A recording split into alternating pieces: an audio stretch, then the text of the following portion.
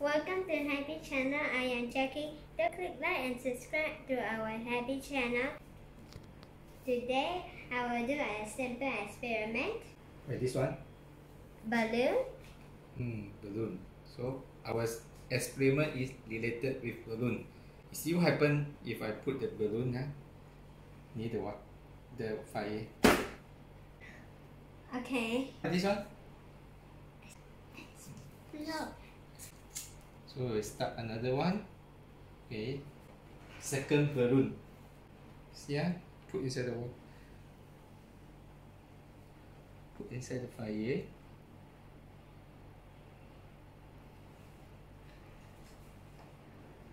You see?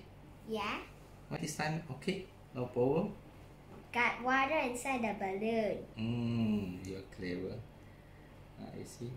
Because got water inside the balloon. See. I put some more time. Okay. Okay, so become black also.